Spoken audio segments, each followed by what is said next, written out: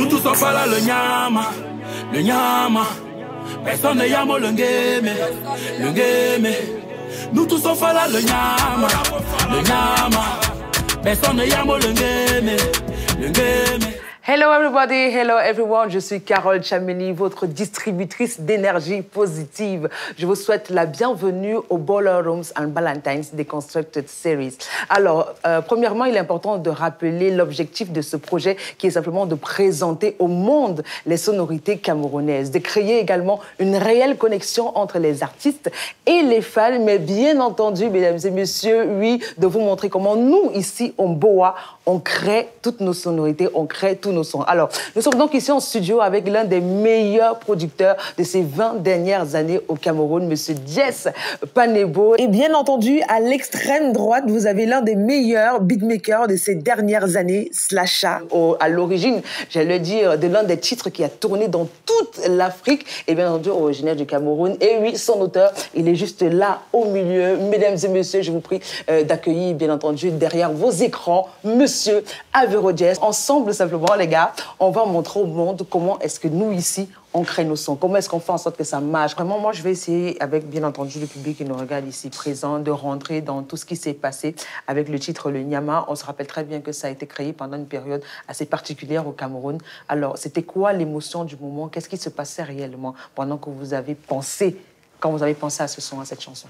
Euh, C'était euh, une période assez, comment je vais dire, assez froide Mm. au Mboa. Pendant ces temps-là, c'était le Covid. Ouais. Avec les personne situations, n'entrait, personne voilà. ne sortait. Personne ne sortait, tout le monde était sur place en fait. Ouais. Donc du coup, on n'était vraiment pas motivé Mm. à sortir des sons, sauf que c'est la passion.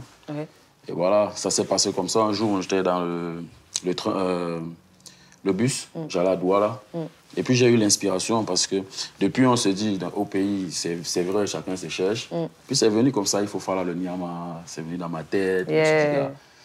si je mets ça en chanson, qu'est-ce que ça va donner et tout. Mm. Et puis de là, j'ai appelé Slasha, je lui ai dit, gars, faut que tu me frappes un beat là, faut que tu me fasses un peu un truc que je peux ressentir. J'ai mimé, j'ai mimé un peu euh, la mélodie. Un truc qui est dans ta tête, un instrumental. Pam, pam, pam, pam, pam, pam. Slasha fait pam, pam, pam, pam, pam, pam, pam. Et c'est comme ça qu'il a écouté ça. Ah, good. Et puis après, il m'a renvoyé le beat et, ah, et voilà. Et ça donnait ce que ça donnait. Oui. Donc, ah, si je comprends bien, euh, à la base, c'était un son, euh, on faisait juste du son. Il faut dire que tu as mis la magie, tu as mis la magie. Maintenant, j'ai mis la magie. Est-ce que tu as prié ce jour-là? Est-ce que tu as dit que non, aujourd'hui, là, il faut quelqu'un, oui. Ouais.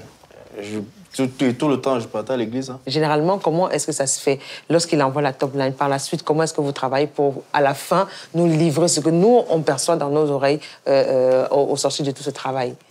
Dès qu'il a terminé, il renvoie l'instrumental sur Cubase. C'est ça qui lui permet de, de faire la prise de voix finale. D'accord. Bon, les top lines, je les, je les travaille sur FL Studio pour, une, une- pour, euh, pour une base d'abord. Ouais. Voilà. Et après, maintenant, les, pour la prise de voix complète, c'est à Cubase. Clairement, ça a été un moment magique, ça c'est clair. Ceux qui nous, nous regardent non plus. Alors, c'était quoi la première, je vais dire, le premier beat que vous avez posé, en fait, sans les voix? Ça se présentait comment, en fait? Tu veux écouter? Moi, je vais écouter, oui. Ça sonnait un peu comme ça. Ah, c'est vraiment techno, en fait. Ah, tu vois, ça, ça vient, ça rentre.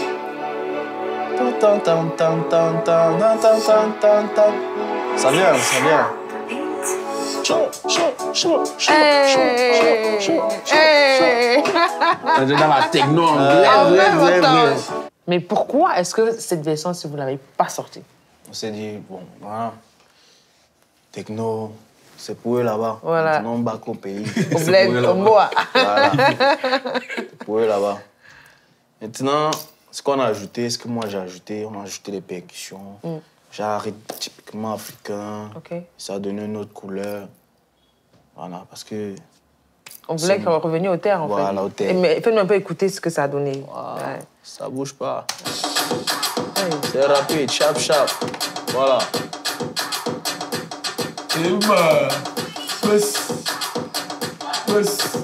Là, ça groove. Vois? direct. Voilà. Bah, super, Ah, ça. Maintenant, je veux, je veux t'expliquer Mm. Le processus, comment- en fait. voilà, le processus. OK J'ai- mis un sample d'abord qui fait ça. OK. C'est maintenant, j'ai mis les petits cris là. C'est que pour, pour faire, euh, il faut avoir les petits cris en bas. Voilà. Voilà. Weri qui Oui. Tu vois Maintenant, on met une snare. Hey, hey. On va mettre le pied en dernière position, tu vois.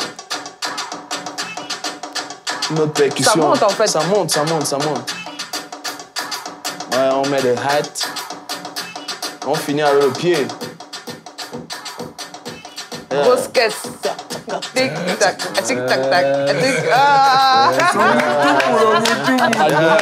Et il y a une chose que j'apprécie énormément euh, dans le concept, parce que c'est quelqu'un qui a vraiment épousé le concept euh, afro-dégamé. Ouais. Parce que quelqu'un qui connaît vraiment ce que l'artiste recherche. Parce que vous avez écouté les drums, là, mais il y a des détails, il y a des infos que moi j'ai. Par exemple, il y a eu une, une percussion là qui, euh, qui me fait penser au rythme nordiste qui vient du nord. tout à Et le but de l'afro-dégamé, c'est de prendre un peu de partout. C'est ça en fait, c'est ça l'afro-dégamé. Ouais. Donc tu, tu retrouves plein de ces rythmes locaux Ouais. dans une seule chanson. Après que tu aies euh, mélangé les grosses caisses, les caisses claires, euh, batterie, piano et tout ça, et que Avero, lui, il soit venu en studio poser la voix, comment est-ce que tu fais exactement pour que ça donne le résultat que nous, on a entendu dans nos oreilles à la fin? Est-ce que tu mets trop d'autotune ou pas? C'est quoi? Qu'est-ce que tu mélanges en fait? Non, à la base, c'est d'avoir un très bon chanteur. Ouais, ça c'est c'est juste pour, pour vraiment commercialiser l'affaire. Mais dans, le, dans ce type de projet, il faut. Parce que le, le son est mélodieux. Donc, c'est dit de mettre beaucoup. Les, oui, c'est mélancolique. Ouais. Donc, le principal, c'est c'est la- à la reverb Ok. et le delay dans l'écho. Mm. Mais après ça aussi, il y a les traitements, c'est-à-dire EQ, bien équaliser la voix. Quoi là et- Voilà. Et compresseur, bien compresser la voix pour qu'elle soit. La attrape, Ouais. elle attrape vraiment le son. Quand ça sort, ça fait boum Voilà. Bouyaka. Bouyaka. Dans, dans les oreilles. Allez, est-ce qu'on peut, on peut écouter un peu à quoi ça ressemble? Ouais. Je vais mettre à partir du refrain. Ce que ça donne un peu? Nous tous on fait le nyama, le nyama.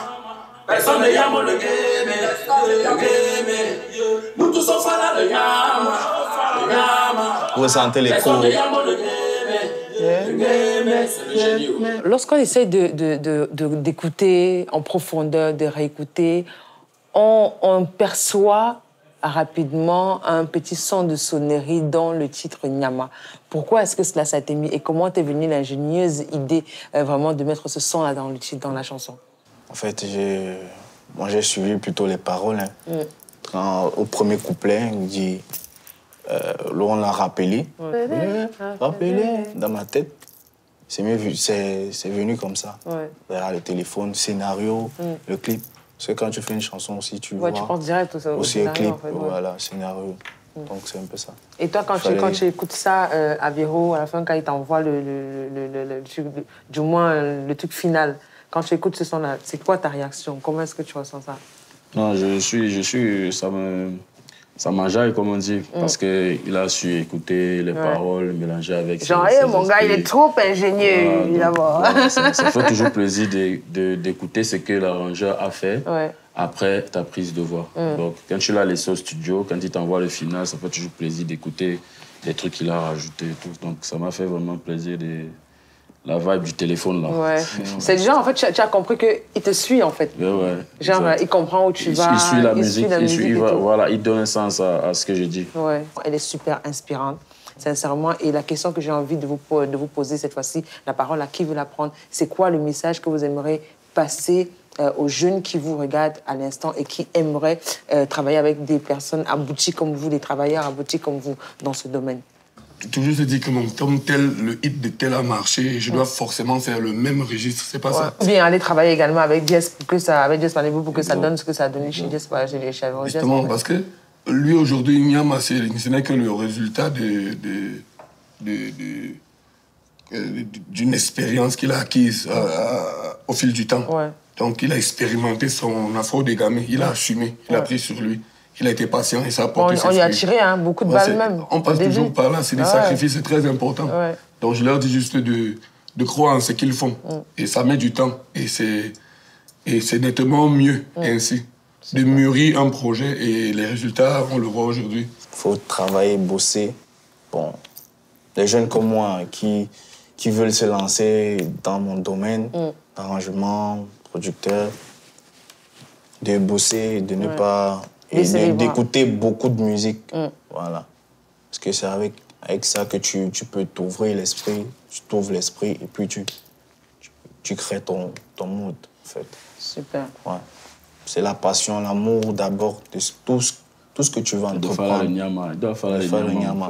Même si tu ne feras pas le nyama, tu vas aller payer le studio avec quoi tu Avec quoi Alors vraiment, merci énormément les gars d'avoir partagé avec nous cette expérience studio. Et il était important de le faire également, non seulement pour ceux qui vous regardent, mais surtout pour l'industrie musicale camerounaise qui veut rentrer euh, parfois voilà, dans vos mamies qui sont de savoir comment les choses se font. Donc merci encore. Merci à toi, Despanibo, d'avoir Ouais, accepté ouais. l'invitation. Merci à Véro pour les hits que tu nous produis chaque jour. Merci à toi, Slasha, de participer, bien entendu, au développement de tout ceci. Allez, simplement, moi, c'est mes cours de présentation. J'étais Carole Chamili pour ce Ballroom on Valentine's Deconstructed Series. Je vous donne rendez-vous, oui, dans cet épisode. Merci, c'était moi. Oui, aïe,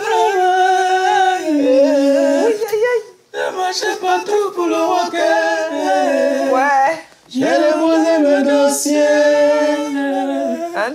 Mais personne n'en. Rappelez. Ah, Aïe, aïe, coupez, laisse, laisse, laisse, laisse, ça va aller. Aïe, Tu es ému.